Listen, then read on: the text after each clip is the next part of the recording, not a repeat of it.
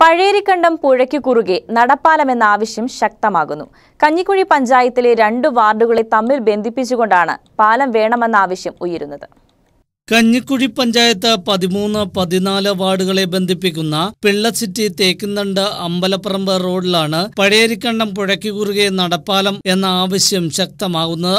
നൂറുകണക്കിന് കുടുംബങ്ങൾക്ക് ആലപ്പുഴ മധുര സംസ്ഥാന പാത കടന്നുപോകുന്ന പഴയരിക്കണ്ടം പിള്ളസിറ്റിയിൽ എളുപ്പത്തിൽ എത്തിച്ചേരുവാൻ പറ്റുന്ന വഴി കൂടിയാണിത്. കാലവർഷം ശക്തമാകുമ്പോൾ പുഴയിലെ ജലനിരപ്പ് ഉയരുകയും മൂന്ന് മാസക്കാലം പ്രദേശവാസികൾ കിലോമീറ്ററുകൾ ചുറ്റി ആലപ്പുഴ മധുര സംസ്ഥാന പാതയിൽ എത്തിയാണ് ഇരുകരകളിലേക്കും എത്തിച്ചേരുന്നത് കഞ്ഞിക്കുഴി പഞ്ചായത്തിലെ പന്ത്രണ്ട് പതിമൂന്ന് പതിനാല് വാർഡുകളെ ബന്ധിപ്പിക്കുന്നു.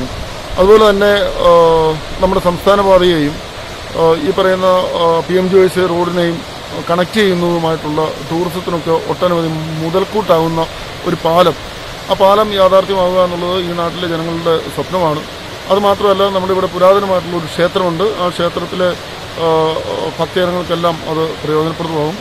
പ്രദേശത്ത് ഇരു വാർഡുകളെ തമ്മിൽ ബന്ധിപ്പിച്ച് പുഴയ്ക്ക് കുറുകെ നടപ്പാലം വേണമെന്ന ആവശ്യത്തിന് പതിറ്റാണ്ടുകളുടെ പഴക്കമുണ്ട്. അടിയന്തരമായി പഴയരിക്കണ്ടം പുഴയ്ക്ക് കുറുകെ നടപ്പാലം നിർമ്മിച്ച അമ്പലപ്പറമ്പ് കുരിശുമല തേക്കിൻതണ്ട് നിവാസികളുടെ യാത്രാക്ലേശം പരിഹരിക്കണമെന്ന ആവശ്യം ശക്തമാവുകയാണ്.